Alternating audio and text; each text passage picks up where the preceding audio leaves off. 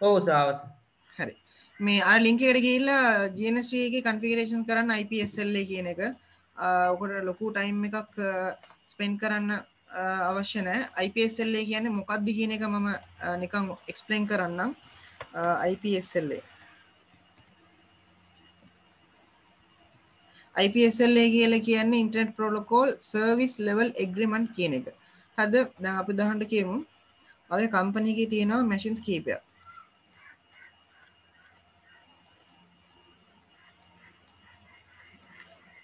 කීපය මෙන්න මේක කනෙක්ටනවා රව් එකට. එකන ඩිරෙක් රව් එකට මේ සුච්ච එකක් කරහා කනෙක්ටනවා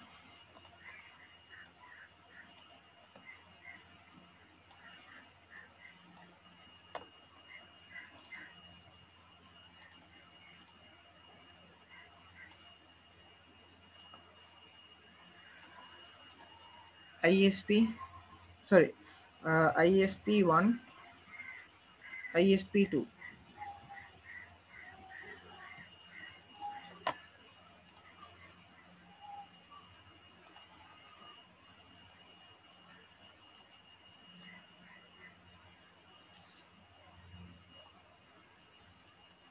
හරි. දැන් මෙතන බලන්න. දැන් මේක තමයි හොඳම ඉන්ටර්නෙට් කනෙක්ෂන් තියෙන එක. අපි කියමු මෙයාව 1 Gbps කියලා. හරිද? එතකොට මෙයා ඉන්නේ 100 mbps.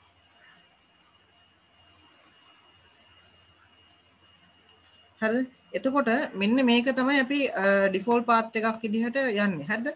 හදිසියේවත් දැන් කියමු මෙන්න මේ පාත් එක ඩ්‍රොප් වුණා කියන්නකෝ. හරිද? එතකොට මොකක්ද වෙන්නේ? මෙයා ඇවිල්ලා මේ පාත් එක චේන්ජ් කරන්න වෙලාවක් ගන්නවා. අපි දන්නවා නේද HSRP කියලා කන්සෙප්ට් එකක් අපි කතා කරා මතකයි නේද? HSRP VRRP GLBP කියලා කියන එක පාත් එකක් ඩවුන් නම් ඒ වෙනුවෙන් අනිත් පාත් එකට රූට් කරනවා කියලා කිව්ව මතකයි නේද? නැද්ද? ඔව් සර්. ඔව් හරි. එතකොට මේ එයා රූට් කරන්නේ ඇත්තටම HSRP කියන එක පාවිච්චි කරන්නේ මොන වගේ අවස්ථාවකදීද? වගේ ලෝකල් ඒරියා එකේදී නෙට්වර්ක් එක ඩවුන් වුණොත් විතරයි රිඩන්ඩන්සි එක හදන්නේ. හරිද? එතකොට ISP ලගින් රිඩන්ඩන්සි හදන්න පුළුවන්ද? ISP ලගින් රිඩන්ඩන්සි නෑ ඔතනදී හරිද එතකොට ඒ වෙනුවට HSRP එක වගේ තවත් කන්සෙප්ට් එකක් තමයි IPSLA කියලා කියන්නේ මේකෙදී මොකද කරන්නේ? මේක ඩවන්වෙන් අවශ්‍යතාවයක් නෑ මෙයා හැමවෙලාම ෆ්‍රීකවන්සි පැකට් එකක් යවනවා. ෆ්‍රීකවන්සිස් කියලා කියන්නේ අර රේඩියෝ වේව්ස් දන්නව නේද? රේඩියෝ ෆ්‍රීකවන්සිස් කියලා කියන්නේ අපි. ඒ රේඩියෝ ෆ්‍රීකවන්සිස් මොකක්ද කරන්නේ? රේඩියෝ ෆ්‍රීකවන්සිස් වගේ වේව් ටිකක් යවනවා. ඒ යවන වේව් එක මොකද කරන්න දර අපි දැන් රෑට එහෙම පියාඹන වවුල්ලු ඉන්නවනේ. දැන් එයා ඩිරෙක්ෂන් එක හොයාගන්න කොහොමද?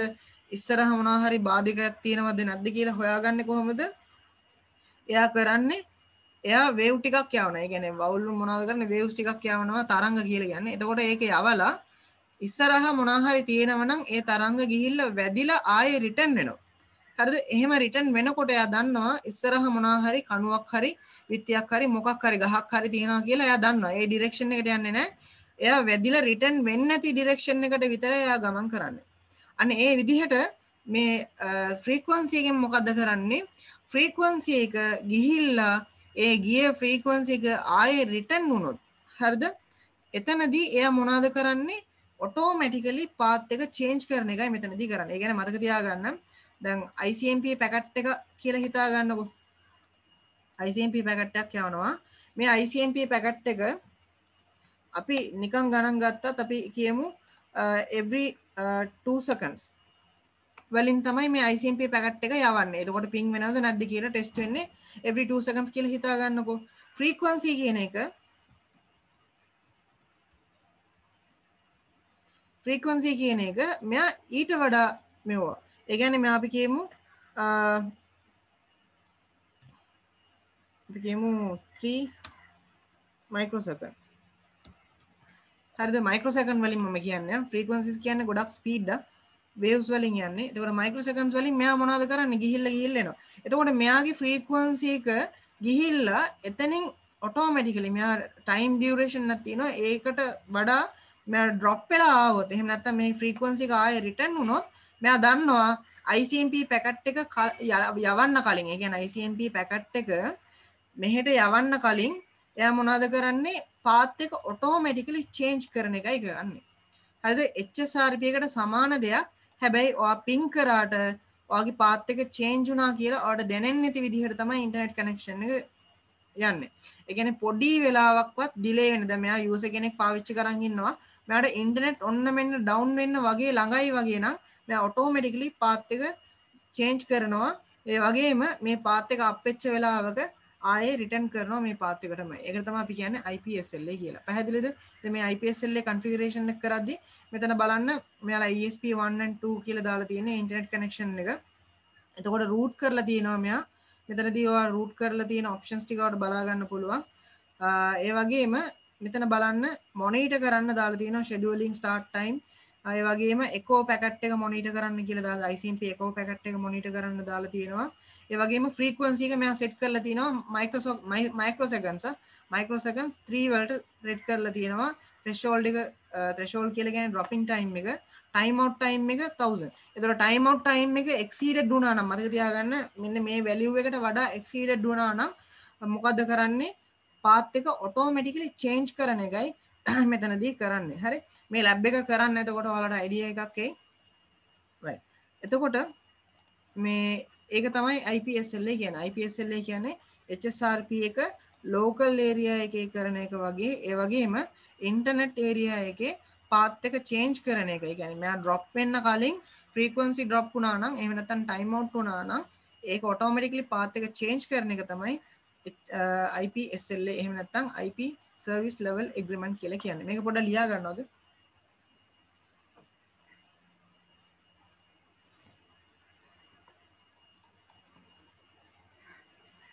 ඒවගේ හැම දෙයක්ම මෙතනදී එනලයිස් කරගන්න පුළුවන්.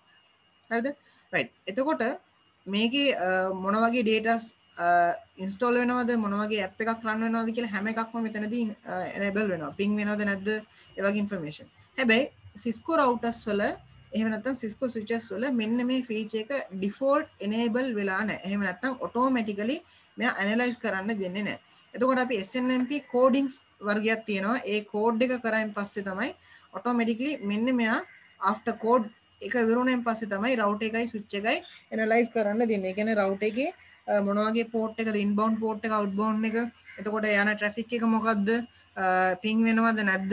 රවටගේ ප්‍රොසස් එක මොකක්ද ඒ වගේ ඉන්ෆර්මේෂන් හැම එකක්ම එයා ගන්නේ ඔත් අපි ස්නම්පි කෝඩිං කරලා ඉවරුණයින් පස්සේ තමයි. හැර මතතියා ගන්න මෙන්න මේ රවුට එකයි සුච්ච එකයි CLI මෝඩ් එකේ තියෙන රවුට සුචස් හද දර CLI මෝඩ් එක නැති රවුට සුචස් වල. එහෙම නැත්තං මම කලින් කිය විදිහට SDN ටෙක්නෝලජික පාවිච්චි කරනවා නම් එතනදී SNMP එකට සමාන දෙයක් තමයි අපි කියන්නේ නෙට් කන්ෆික් කියලා. නෙට් කන්ෆික් කියල කියන්නේ වගේ කම්පනයගේ තියෙන සම්පූර්ණ ජීවයි වර්ෂන් එකගේ තියෙන ඩිවයිසස් um, හැම එකක්ම ඔටෝමටිකලි සිස්කෝ DNA සෙන්ට කියලා ඩිවයිස් තියෙනවා. අන්න ඒ සිස්කෝ DNA සෙන්ට කියන ඩිවයිස් එකට ඔටෝමටිකලි මොනීට වෙන එක තමයි නෙට් කන්ෆිග් කියල කියන්නේ. හරි? මේක පොඩක් ලියාගන්න මන් මේ නෙට් කන්ෆිග් එක කෝඩ් කරන විදිිය දෙන්න ඒ සම්පූර්ණයෙන් අපි කෝඩ් කරන්න අවශ්‍ය නෑ ඕල්ඩඩි කෝඩිං තියෙනවා. එක්සාම් එකේදයා පාවිච්චි කරන්නේ එක්මල් කියලා කෝඩ් වර්ග ඇත්තමයි ඒගැන ලැංවෙජ්ජි ගත්තමයි බලාගන්න එක්මල් කියන එකත් තියෙනවා. එක්මල් එක තමයි මේ නෙට් කන්ෆිග්ගේ පාවිච්චි කරන කෝඩිං එක. මේක පොඩ ලියාගන්න. SNMP එකට සමාන දෙයක්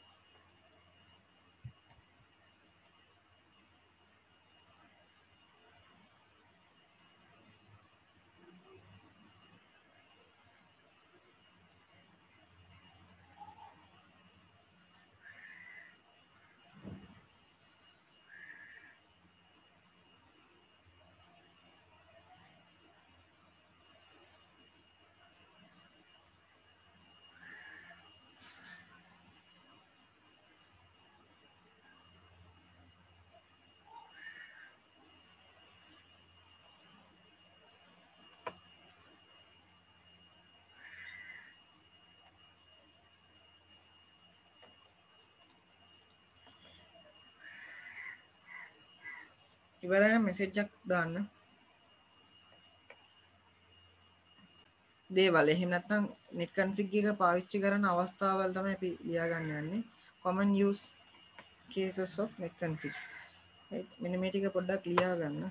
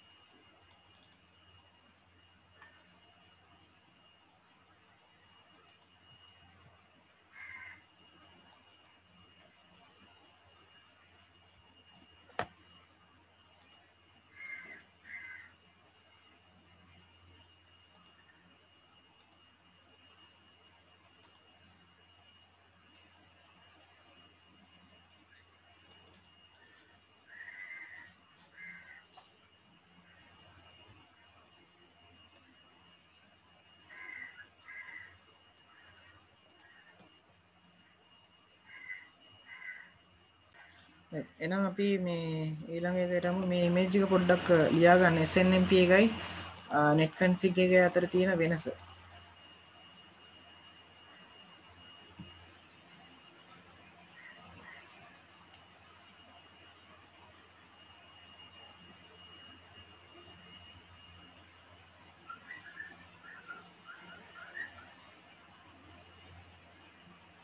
මේ ඉමේජ් එක ලියාගන්න. SNMP එකයි net config එකයි අතර තියෙන වෙනස.